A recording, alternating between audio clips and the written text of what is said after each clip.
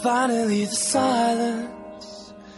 Looking out, looking back across the sky, trying to find a meaning. Knowing that I just left it all behind. Still, I smell a lingering softness. Where did she go? How did she go? I want, I want to know.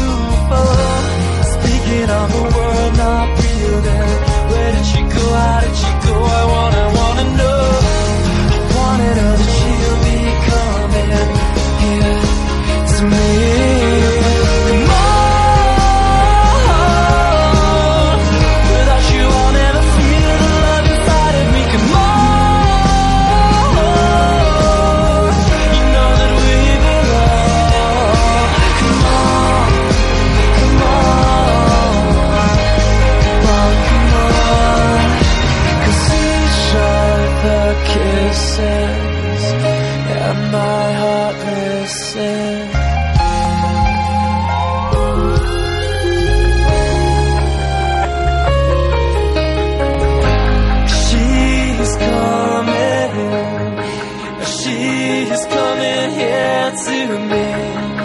I need it.